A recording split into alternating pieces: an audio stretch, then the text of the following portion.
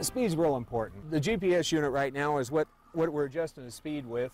This particular setup, I like to run about 1.3 to 1.5. And uh, right here, the GPS will tell you how fast you're going. Right, right. Uh, that way we can kind of fine tune this and keep everything the same.